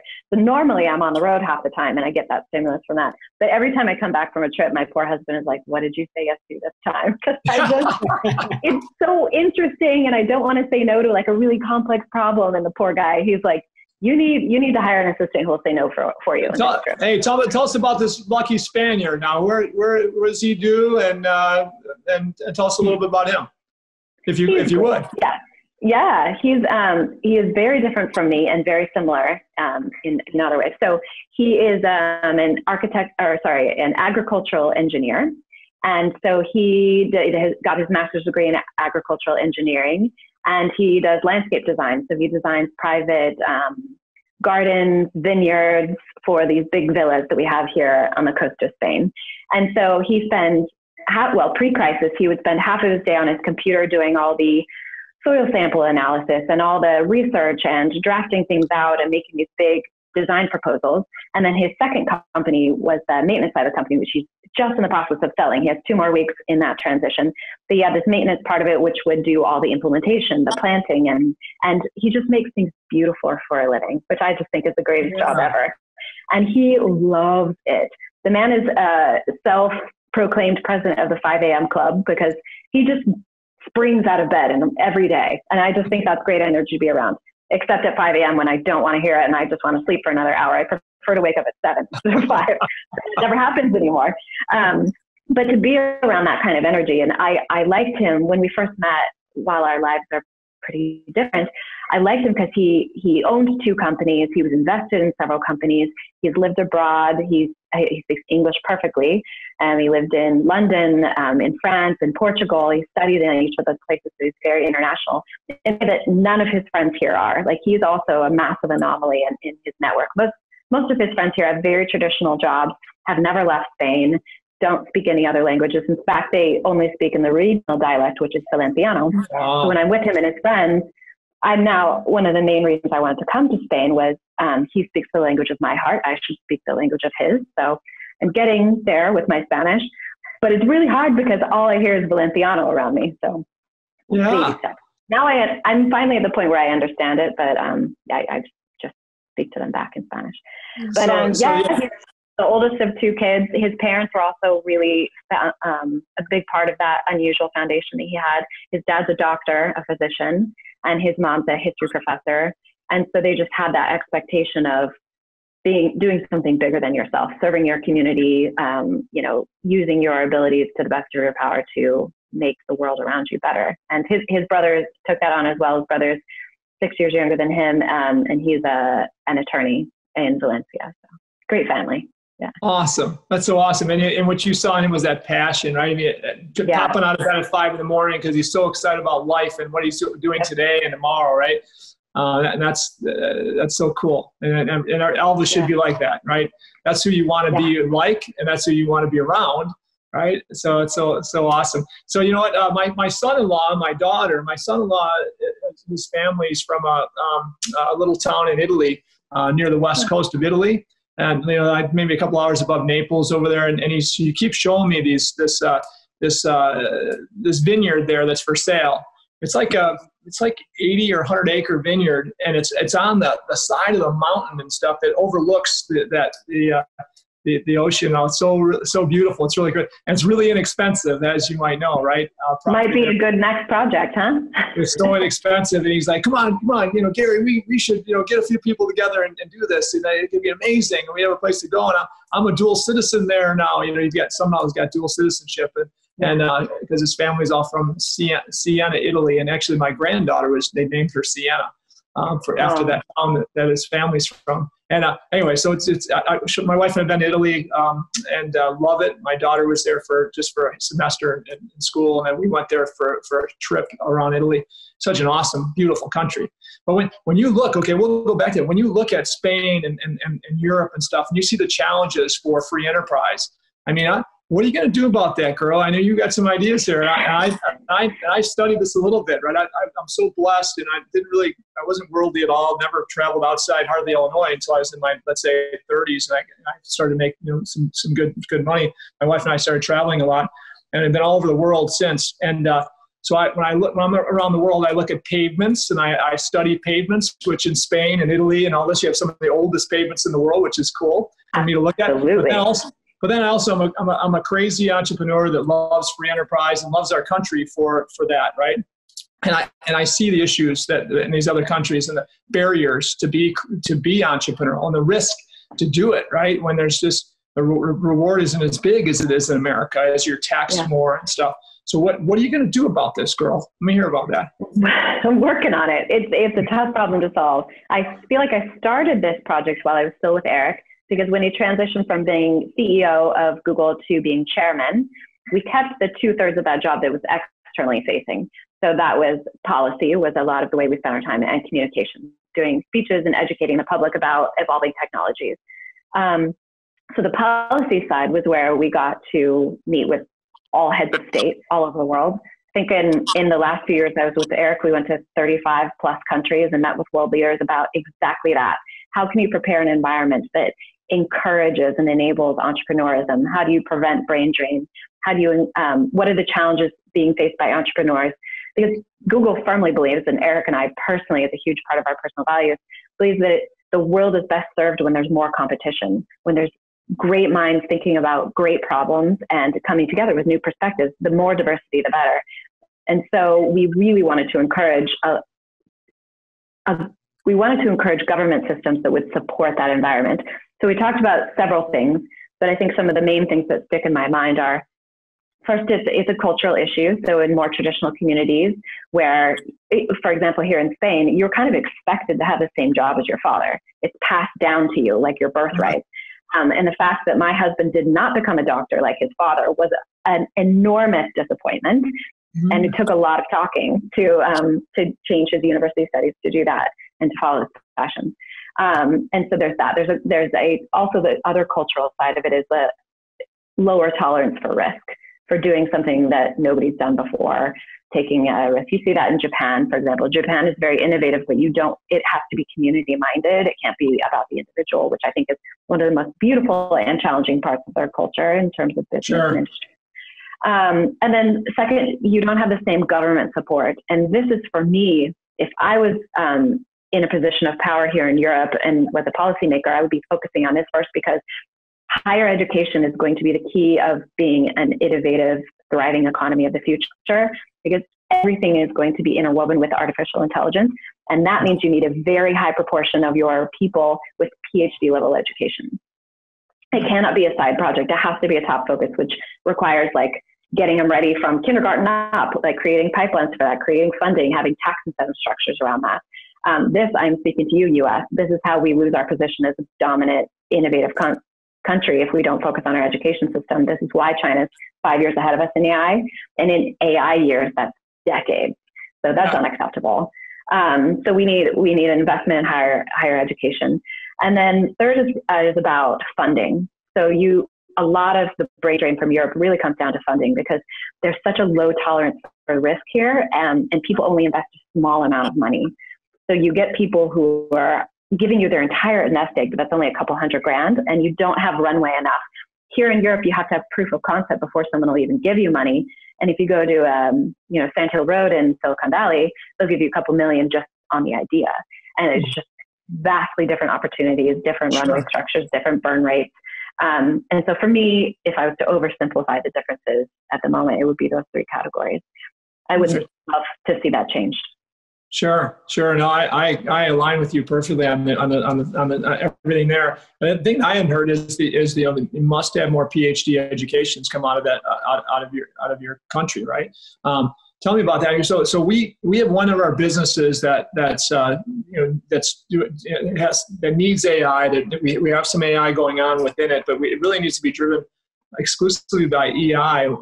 Uh, uh, EI, AI, when it comes to uh, when it comes to long term uh, of this business. And when I say this, right now it, it's it's leading that space. And there's a startup that my son and and uh, Robbie is part of, who's who's on with us. Um, and this business will be uh, right now it's leading in the industry of facilities assessments in the country and now we're getting into utility assessments easement assessments, and, and and uh, cell towers and wind farms and solar farms. Mm-hmm. Anyway, this is basically using drones and satellite imagery to assess the condition of, of uh, assets, right? Um, very big, we're very big in the facility space. In a, in a short period of time, this, this uh, business was started four or five years ago with him as an incubator within one of our businesses. My son's idea my son spun it out into another company. He was a CEO of until recently became the CEO of all of our companies. But so we're actually looking for a CEO for this company now. Um, it's gonna it's gonna triple in size, maybe go, grow ten times its size this year, at least triple, but maybe ten times growth this year. We're, we're trying to find a CEO, but basically we know that you know right now it's engineers doing most of this work, most of the identification of condition of properties. Let's say pavements and roofs and everything around a building or anything around a facility but but we're we're training AI, but we're slow and we're not doing it we're not doing it efficiently yet. We have to invest big in AI coming going forward. What what do you I mean? Do you, do you just go to uh, a Chinese company and say you know help build this with us? What you know what do you what do you do? Do you trust that as a partner in your in just in, just in a in a general general mindset of knowing what we're going for because really this this product should be a SaaS product and eventually right it shouldn't be you know a, a, job by job product where we've got all these eyes looking at you know thousands and thousands of, of uh, images. So in your eye, it's not scalable. Mm-hmm. Right, it's not scalable. So you're in your mind, and just from the top looking at what you know, where do you think you go to grab that AI, uh, um, uh, the AI team, the, the AI intel that you need? Well, um, I would snag someone straight out of university if you can, because there is now a pipeline coming, but it's not enough for the demand. So out of that, you see what I would look for is right now there's these um, companies that are doing automation of the AI implementation. And so that way you can have, hopefully they're, they're still working on this. In fact, I'm, i was consulting for a company that's doing this very thing where they're, they're creating an automated system where it's kind of like your Salesforce and you just plug into that network and it can insert the AI where it needs to be in your individual company. Because right now, what's not scalable is there aren't enough AI experts in the world because it's so it's brand new breakthrough. Like just kids in their basements right now are inventing yeah. it, right? So like it's not they're not in the workforce yet. There's just not enough for every company that needs an AI expert. There isn't enough to go around. So they're having to build themselves out of a job and find build these systems where you can just do plug and play AI um, technologies. Because you're right. I mean, I mean, it was at least five plus years ago that I was saying um, to companies, if you don't, no matter your industry, if you don't realize you're a technology company, you're already dead. And now in this crisis right now, we've seen that that's come true. If you exactly right. Digital platform, it's over. And I'm telling you, now AI, I think five years from now, if you haven't already figured out how to automate that, like you're saying, you're not scalable, so you won't be competitive. So right. that's why these companies are popping up now to help people because there just there isn't enough places to go for industry experts. Sure. Yeah, we, we have a um, we have a, a, gentleman that said he'd, he'd love to be on the board of this business. He's he's a, uh, a professor at, at University of Texas, and, he, and he's oh, great. in charge of all technology, AI, and everything. And he, he loves the concept. So he'd love to be part of it. So we just got to get that going. But I, I, think he'd probably be a big help in identifying our yeah. needs forward and talent, probably right. So that's kind of what we have to continue. So yeah, that's so it's so much fun. But 100%, every business we we have, and we're, we're it's fun for us because we're in kind of dirty businesses that aren't that exciting for for for young people coming out of school. Not many people say I want to I want to pave asphalt and pour concrete. You know, as they they work hard for their degrees in, in physics or uh, you know neuroscience or so. So either way, bottom line is we, we, we have fun because we, we do invest a lot in technology and, and, and in our space, it's not that common. So we're, our, our industry is further, further behind when it comes to investing in technology. So we, we, anything we do with technology and we do a lot with it, it's, it gives us a leg up on our competitors pretty fast. And that won't be the case always. If we're complacent, right, that's not going to be the case in the long, in the long run. But we're very confident that you know we, are going to continue to stay ahead of the, the competitions, keep swimming out to that blue ocean, away from the red shark infested waters, right? So okay. also also one more thing, you know, uh, uh, are you are you have you been involved in um, uh, Abundance 360 at all with uh, Peter Diamandis? I know no? Peter, but no, I haven't been involved. Uh-uh. Well, so I've been I, I joined that a couple of years ago, and that, that's so much fun. His conference is amazing. He's got some amazing, bright minds that that show up, and you know, I sponge off everybody I can, and, and he basically interviews. He's got like 360 CEOs that are part of it. I'm I'm, I'm blessed to be one of those, and it's so much fun to uh, to be amongst these crazy, fun entrepreneurs that are always thinking how do we use technology forward in a better way? But, but yeah so a lot a lot you know he's, he's part of the x prize thing and all that right? Yep. Um, he's quite he's quite he's quite a, a, unique individual isn't he? He's quite a character. Yeah, yeah. that's for sure. I used to talk to him all the time when at yeah. google. Yeah he's a great guy. Yeah he's really neat um, so yeah, so, so again, I, I would, I mean, my, my recommendation to anybody, I don't care what you're doing. I don't care if you have a dry cleaning shop. I don't care if you're in grocery business. I don't care if you're in construction or whatever, right? And, and I think those businesses are better served even if you're diving into technology faster because your competition probably isn't compared to, you know, health, health and, uh, uh, and normal technology businesses, right, are, are have to be constantly focused and, and it's tough to keep up. You know, I mean, I can't imagine, you know, Google and, and, and uh, Amazon and, and, and, those companies and what it looks like. I mean, it's all technology and it's got to be so much fun. So, yeah. So, so, so again, so, the, so in the, in the next five years, you're going to be building this consulting business and, and uh, are you going to hire people someday to, to be uh, you know, mini Anns like. Uh, I as, sure hope so. as, I need as, I need all the help I can get. I have big big dreams. I just had a call with a friend um, in Barcelona with just yesterday about some moonshot ideas that we have. So I'm gonna quickly need a lot of help because we've got some really big big things we're, we're dreaming up. So yeah, I'm, I'm excited about it. So, so Ann, a lot of our listeners probably don't, I mean, I've heard the moonshot through, you know, Abundance 360 and Peter Diamandis, that group. I hear it all the time when we think about it all the time. So I've never, never talked about it much on my, on my podcast. Can you, can you hmm. explain that mentality, that mindset, the moonshot mindset that you have and why? Yeah, what I really should do right now is plagiarize the article just published by that friend I mentioned, Pablo, in um, in Barcelona, because he was the CEO of Tele- Telefonica, which is the big comms company here in Spain. They had a company called Alpha, and they built um, Telefonica Alpha based on Google X. X is our moonshot factory at Google, where, as you know, when we um, re- when we reorganized the company to separate Google from the dream, which is why it became Alphabet, X is the dreaming stage. So the short of it is moonshots are something, it's a goal you set for yourself that you're going to attain, but you cannot do that in the next six to 10 years at least. It's, it's so big that you can't wrap your head around it right now. Um, it's something that no one has ever done before. No one knows what success looks like. And you're just going to go in to see how much you can learn and how close you can get to that goal we should just scratch everything I just said and I should just read out loud the paper that he just published. No, no, no, you, you're doing, you're explaining awesome. I literally want to pull it up on my screen right now because it was just, I, that's why we reconnected yesterday because I sent him a message being like, this is the single best explanation of moonshots I've ever heard.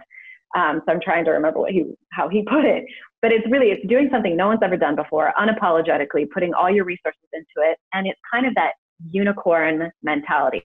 When, it, when a, um, when a VC firm invests in something, they're looking for unicorns, which is giving you a 100x return when all the other 99 are, are not going to pay out. So it takes a very long term vision. It takes a high tolerance for risk and failure because that's 100% the formula for how you're going to get there. It's by the end of it, it's not going to be resemble the original vision you set out for yourself. So I used to spend one day a week, um, my last nine years at Google, sitting with the Google X team because that's where we held our senior executive staff meetings and our board meetings within their building. And I just watched this crazy process of the smartest people in the world just kicking it around and trying things. They would have parties to celebrate failures, not because we wanted to fail or waste a lot of money, but because they would celebrate the learning. Astro Teller, who's a who's the head of, of X, would stand up there and dissect what did we learn? How do how can we implement that into all these other projects? How can we share this learning across these different these different tests?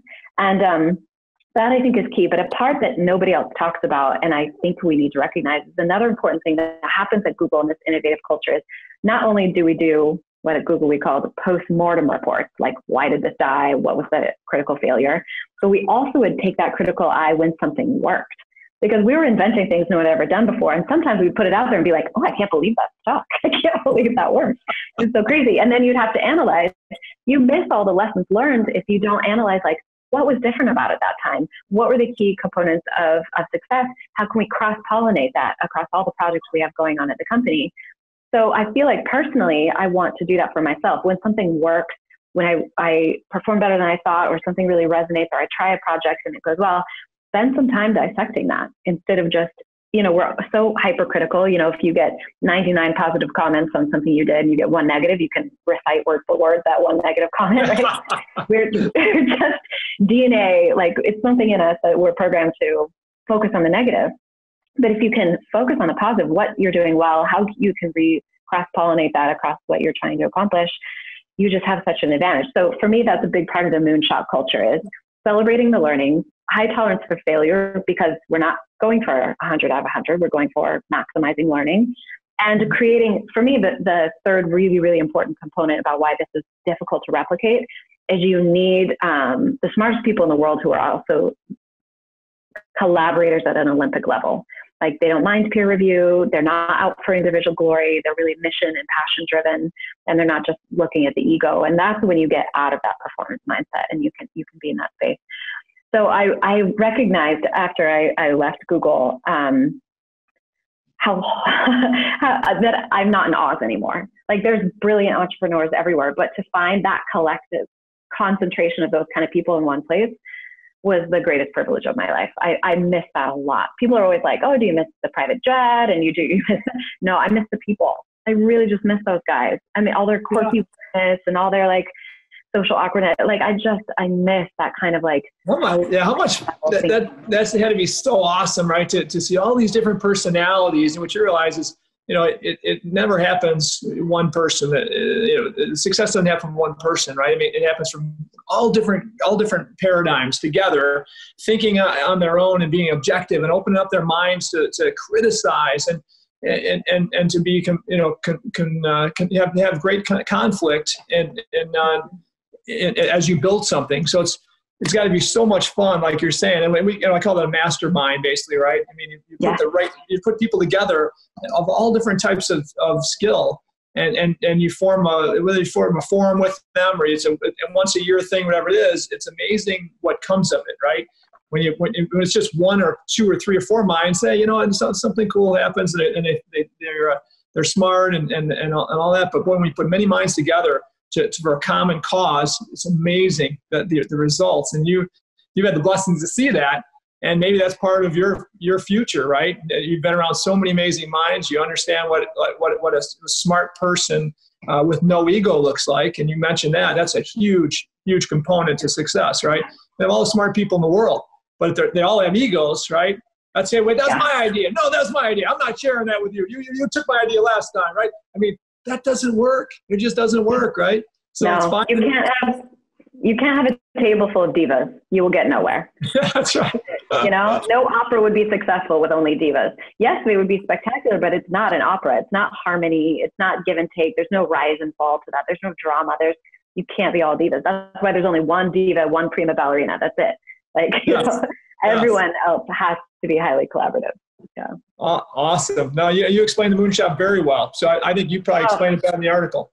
So no, I highly doubt that. But thank you. No, no it is. It's really core to understanding the magic of of these these kind of minds, these kind of companies that are trying to do things that are have never been done before.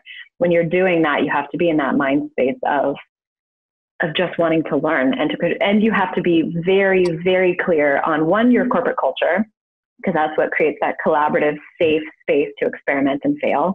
And then you also have to be, you have to be passion driven. I mean, I'm grateful to work with CEOs who they had enough money a long time ago. They did, they do not need to work as hard as they do. They're there because they really believe they're changing the world in really important ways. And if you're working at a place that you're like, gosh, why is my CEO just not delivering at that level? They might not be in their passion space. It might just be they can't get that extra gear. And I've, I've asked myself that question when I'm looking for what's the right next adventure for me? What's what could possibly challenge me in the same way that Amazon and Google did? I'm looking for like something's going to hit me in my chest and be like, that's it. That's the passion project I was looking for to you know dedicate myself to. Yeah. Um, and, yeah. and that magic. I, I mean, I, is it is it you know you being the lead consultant in a company that consults to many many companies, and you and you you add great minds that to be on your team, right? that can represent you know your values right as they listen in and they're yeah. parts of boards of they're on boards of companies they're consulting to companies right and it's your mm-hmm. brand driven by your values i mean I, I, I, I couldn't imagine the power of a company like that you know um, so yeah, that, that, that, you're I, hired. Thank you for creating I, my, my vision statement for me. yeah, I'd be I'd be interested in hiring you. That's for sure. We've got we've got some needs. Actually, that, that the one company I tell you about, we still haven't you know built our board. We have to build a board for that company, and it's a company that, that should be you know a hundred million dollar company within a few years, and, and could be a billion dollar company within you know ten years or so. Let's say, but it, but it's it's it's all because they're serving a niche that's that's never been served before. Uh, they're scratching a niche, serving a niche, whatever you want to say, right? That's never been served before in a way that's faster, less expensive, more you know more power and information than ever before.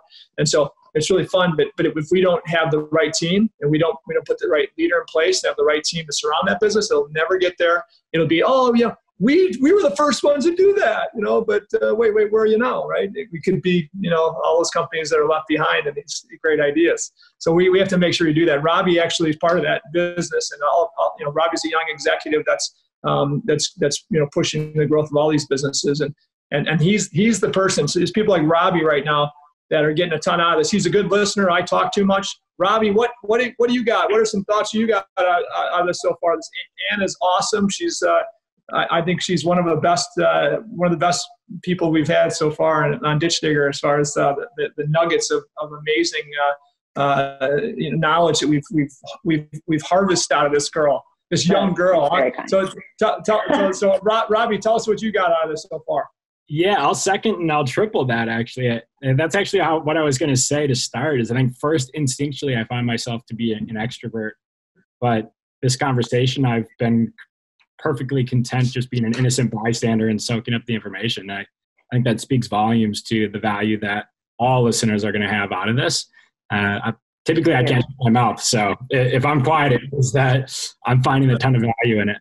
Uh, no, but I, I, really actually, your story hits home with me.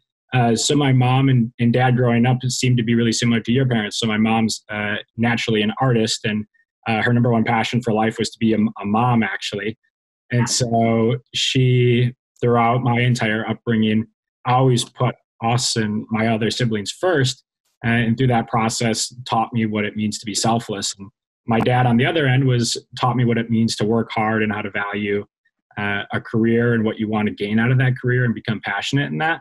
Uh, so i found that part really interesting. And then even further i, I felt like there was a ton of alignment is uh, prior to joining the Rabine Group and specifically Site Technologies that Gary is referencing, uh, I was at LinkedIn for four years, and oh, and so I spent some time out in Silicon Valley, and while, they're just down the street. Yeah, yeah. Actually, we were uh, while we were out there, we were still on the Mountain View campus, so I actually spent some time in Mountain View. Um, so through that funny story about LinkedIn, Reid Hoffman came to meet with um, my manager once, and while waiting for her, created my LinkedIn account because he was horrified.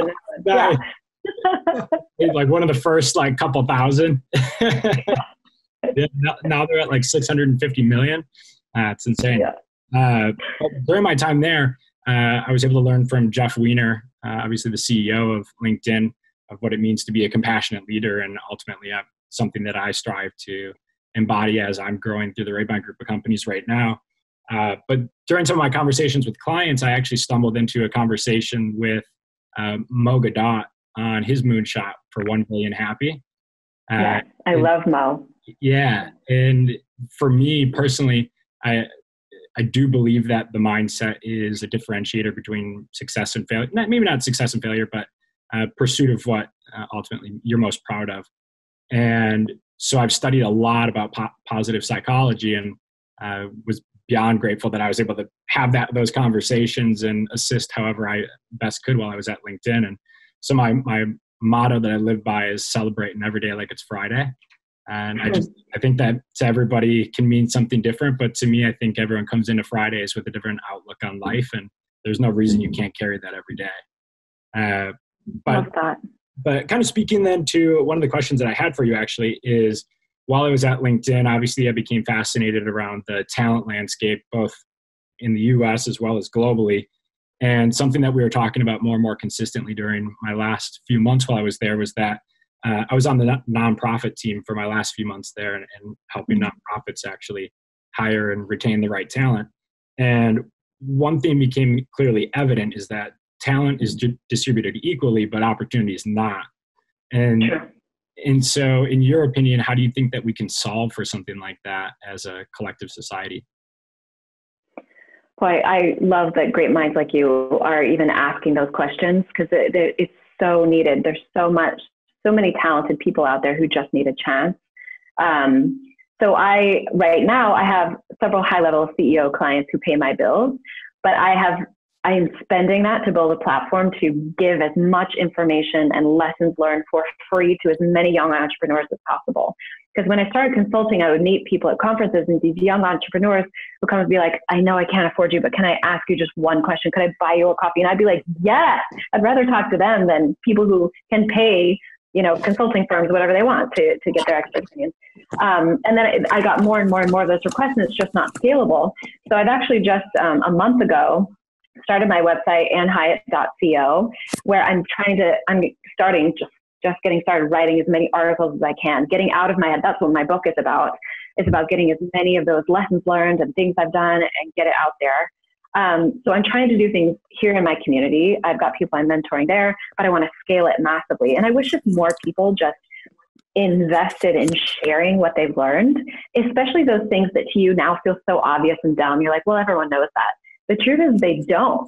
That's right. what I found is like the stuff that comes easy for me now, I forget I learned it the hard way a long time ago. And so I, I think even just you starting a conversation, us talking about like, what young person do you know? Um, you know, thinking about asking yourself like, what do I wish I had known my, my first year of university or when I was choosing my first job after, after college?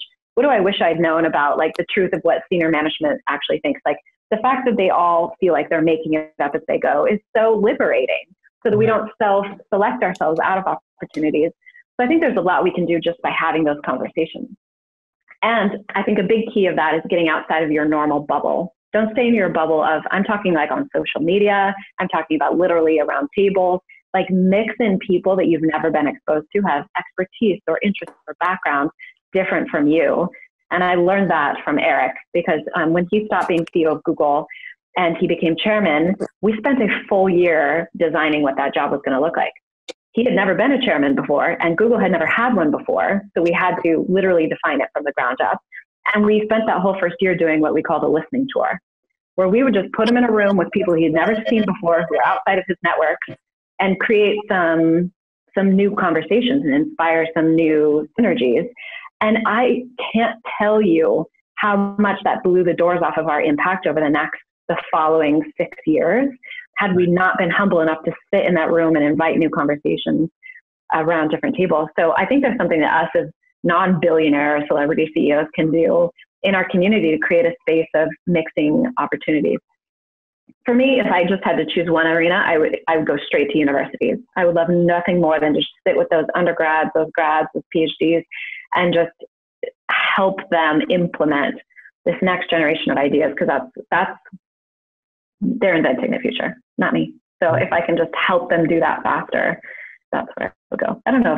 Did that really answer the question? No, it definitely did. But the, the idea of the university is something I've been thinking about pretty consistently mm-hmm. recently.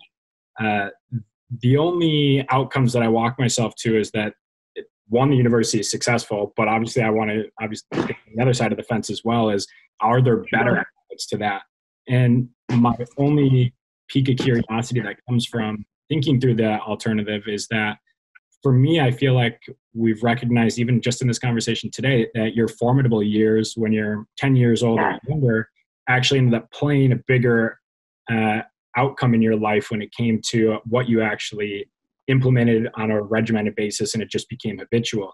So I'm wondering is like, is it actually your earlier years that we need to focus on prior to university? And I could be wrong, but it's. I uh, no, I think you're exactly right. I, I, I couldn't agree more. When Google realized we, we really started focusing on the lack of diversity, and at first the, the go-to excuse is like, well, there isn't just isn't the same pipeline of talent for female engineers as there is for men. And then we decided that's a BS excuse. Let's create the pipeline. Women are as good, um, if not better performers at math and science at STEM um, as boys until I think it's like age eight or something. And then they start self selecting out because they're told they don't see examples of women in those classes. Mm. I, I worked my first two and a half years at Google. I worked for Marissa Mayer, who went on to be CEO of Yahoo. And Marissa was the first female engineer hired at Google. She was employee number 20. And she went to Stanford. She's got a master's degree in artificial systems. She's a brilliant computer scientist. And she heard someone talking in the halls. They're like, Have you seen that blonde girl who's in the like advanced, whatever, I can't remember what the class is called? And she perked up and she was like, There's another girl in my class. She didn't realize they were talking about her. She is the only woman in the room. And I think she was just very special because she could ignore the fact that she didn't look like anyone else. She was a spectacularly beautiful woman. Um, and that had nothing to do with how she self defined. And what a gift. Like yeah. that, she was just like, she was just one of the guys. And not many people can do that for themselves. If you walk into a room and you're the only one who doesn't look like you, you're gonna, you're gonna try, you shrink a little bit. So I, I love that you're thinking about like, how can we get STEM camps, you know, which are really popular in Silicon Valley? How can that be a more popular thing that gets young girls feeling comfortable and like they belong in science and engineering? Like, I, I, yeah, go do it, Robbie. Like, yeah, I'm with you. oh, awesome. I, I know. I'd, I'd, love to continue that conversation with you. Obviously, I yeah, want to be respectful of time today. I know a lot of people who are working in that space actually, who, who this is where they're focusing their energy, and there's some great people to to connect with on that. Yeah. on the policy side too. Right. Yeah. And, and, and is, hey, Robbie, and and uh, and is there enough? Right. Um, in my opinion, you know, when, when I when I look at engineering and and uh, you know, uh, you know, stu- people that come out of engineering degrees and stuff they're, they don't, they don't seem to have had any type of experience in risk taking and, and entrepreneurship and all that. Is there, is there a way to is there a way to get after the, these these universities that are the best in, in technology and, and and maybe they're doing it already. You may know about it where they're cross collateralizing you know the, the, the mindset of risk taking and, and entrepreneurship along with that engineering uh, education they're getting. I, I, just think that's so important, as you said. You know, smart people. Uh, with no egos, right? Smart people that uh, also maybe can take risk and understand the the yeah, the uh, the odds of success with risk they take and such. Is there anything else out there like that as well? Stanford is a, I mean, there's a reason they're the number one university now. And I think it's, they identified that about 10 years ago and no one else is even now maybe having those conversations. You're exactly right. So what they did with their um, engineering program is they inserted classes on entrepreneurship, business ethics. Like you think, because you have these kids who have been best in class their whole life. They've always been smart, the smartest person in the room. And they've obviously been very focused on being perfect yes. on getting the perfect score, getting the perfect grades. That's the only way you get into Stanford, right? But you have those people who, if you're stuck in that performance mindset, you've always been number one. You come to a place where suddenly you're, you know, a little fish in this big pond. It can be really unnerving, and they they saw a lot of talent drain because of that, because they were no longer perfect. So they had to insert some courses around risk taking, value of failure, um, you know, just creating an environment where it's safe to fail. And um, so that's where they, they created this balance of courses. And that's why they became the number one MBA to get. That's why that level of thinking changes everything. Whereas if you have more traditional models, especially in STEM education, there's no reward for risk. You have to be perfect. You have to publish. You have to be, you know, there's just, and then you don't get really interesting companies coming out of that. And you sure. see that in universities in, in Europe that don't celebrate that. Like Germany is amazing at engineering, because they have structure and respect around that. But if you don't see a lot of risk taking, yeah, in mm-hmm. Sweden, for example, I lived in Sweden for two years during undergrad. And um, in Sweden, that's the biggest challenge they have around innovation is because they, they are so community minded, which makes them beautiful, wonderful people. They're so community minded. They don't want to let anyone down. They don't want to be a disappointment. They don't want to rock the boat. They're, you know, they don't they never want to have an ego bigger than someone else's. In Sweden, it's rude to use a title someone, you would never say, "Oh, hey, Dr. Harris, can I ask about?" You would never say "doctor" because that implies a difference between mm-hmm. values and people. So they, they come from this place of beautiful respect, but you don't get a lot of innovation when you're when you're constantly like, "I don't want to pop my head up because I don't want to pretend I'm better than you." Um, yeah.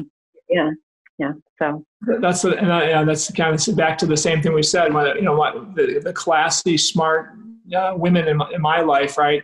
have lacked sometimes you know, jumping forward when I know that would be the best person to do it. You know, my wife has been an example all her life. My daughter, my, my assistant Debbie, and many many women around me are just awesome. I'm like, man, take a lead. You should be the CEO of this or that. And anyway, I, I think it's something to focus on in the future for sure. Um, I, I, love it. And, again, my, what, do you, what do you think of? I mean, so I, I've been uh, on a couple entrepreneurship boards uh, for a couple of colleges and stuff. And, and, and what I re- realized was the people on the board, there's, there's only a few entrepreneurs and then there's, then there's the professors and administration. And, I, am always bothered that, uh, you know, in my case, that some of these, some of these others um, never have been uh, risk takers, never been in the, in, in, the entrepreneurship world, and they're and they're guiding these kids in, in these classes for MBAs and entrepreneurship degrees. Um, and and then on, on the on the and the other thing that, that I see is they're they actually don't they, they, they don't value for enterprise as much as I would like would expect them to, right? So so again, that that's a hindrance on if you get entrepreneurship schools that that don't value for enterprise. Uh, I should you know, the administrators or the, the professors. Uh, that's that always bugs me. I, I'm like I, I, I don't want to participate as long as long as I would otherwise when I'm getting you know I'm getting bad feedback on a consistent basis because I talk about free enterprise on a constant basis and they don't some don't like that. Um, so that's it's just like big conflict. I don't know if you've seen that at all in the, in university, but are there some universities that that their their uh, their staff, the professors are, have been in the working world, have been uh, business builders, and in the past more than others? Yeah, I, I think you're exactly right in the inherent value of having been out there and tried it out and learned a bunch of things the hard way. I do think it's possible to be a pure academic and get it. There's there's a few examples. Yeah. Um, Yale has an amazing MBA program that actually doesn't, in my opinion, doesn't get the respect it's due because they've taken exactly this very innovative, experimental kind of that. It, that's the community they've created. It's people who are taking risks and doing things, and that you wouldn't expect that from Yale. Yale's very yeah. in other departments. Like it, their law school is not like that. It's like very, you know, but they're for some reason this little MBA program that's very centered around innovation has really done that well.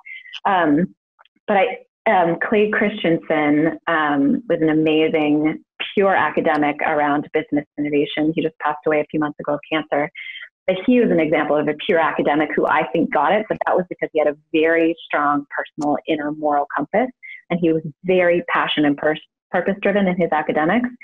Um, he, I, I, so there are these anomalies of people who can do it without having like lived the life of it. Yeah, living but they're rare they're rare. I think you do need to diversify your staff from the people who are, in fact, Eric is a good example of this. So Stanford has a program in their MBA program that brings in like all these CEOs, and it's it's a class in entrepreneurship, and he co-taught that with um, with one of their professors, and he just brought in all these amazing stars like Travis to talk about Uber, and um, oh gosh, he just flew out of my brain, the CEO of Snap, um, who had been one of his students in that same program, he brings them back and he breaks it down of like, what were the critical moments? What did you learn? What was their like this close to failure kind of moment? And, sure. and they just talk about failing, failing, failing, failing until you see the value. Um, and you, you, it loses the sting a little bit. It loses the stigma. It's not, I mean, Silicon Valley celebrates it. You can't get any money from a VC company in Silicon Valley unless you've had three failed startups at least because you haven't learned enough. You know, Absolutely. So Right. Absolutely. And everybody wants the, the person that did the big, you know, that, that uh, was successful in that one for their first deal. And that, uh, not everybody, but some people do. And boy, that's, that's not, that's not who I'm looking for. Right. And, and I don't think any smart in, investors are. I mean, in Israel, where I, I studied, you know, the entrepreneurship in Israel, and I, and I love going I there. spent a lot of time there. Yeah. And, and the VCs that I know there, and the, and the, and the private equities people I know there, that they're looking for those that failed a few times, as you said, that you know smart people they learn their lessons from the failures and they, and they know that they're they're ready for success right uh, so yeah yeah that's and, and, people don't think that way as much as you would think but you need to so yeah. awesome boy and you know what? we we've we've uh, burned up a lot of your time here today and we could talk to you for for another day or two uh, if you yeah.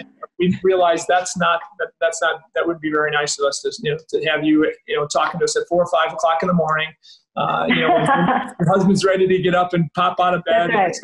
that wouldn't be right. So we're, we're, we're, we we have to we have to cut you off because you you know we can burn up way more of your valuable time if we, if you let us. You're too nice. So uh, Robbie, you know, we, we, like we like to grab the nuggets out of this, and I got so so many doggone nuggets out of this. It's it's crazy. Um, you know, uh, but but Robbie's the Robbie is the uh, the mind that picks up on about everything. I I would just say, you know, hey, again, another another uh, amazing mind that you are. That that you know, I, I could feel the grittiness in you, and it, it, you know, you're uh, you know, the beautiful, beautiful woman that you are, right? People would see from the outside, oh, you know, she's probably, you know, she's she's probably nice and she's probably kind of, you know, uh, polite and nice, so she probably wouldn't get the toughness out of it. Well, you know what? You you definitely you know bring some toughness to to to, to any any leadership position, which I, I love I, you know love seeing. Um, your your your your background has delivered that to you, your family, your upbringing. Um, so I, I like the grittiness in you. Um, I, so many little nuggets I got out of the same thing you said. You know, you know, make sure you're calling on the quiet people. I don't think we do that enough. Uh, call on the quiet people. They're usually probably you know thinking things through, and yeah. uh, and, and they've probably got the best things to, to say compared to that person like me that talks too much too often. Um, uh, also, you know, bottom up innovation. I mean, same thing, right? Listen to those that, that are new on the team, right? And and and, and expect uh, them to fail, allow them to fail, so that so that and, and allow them to, to to to experience the glory of innovation and, and discovering things, right? Um, uh, the, you know, I, have got a ton, but uh, you know, I, I think the, the, one, one thing that you say, which, which, is something we all have, have to look for when we look at we look at friends in our life, even right. But when you look at leadership and, and people we want to surround ourselves with, right?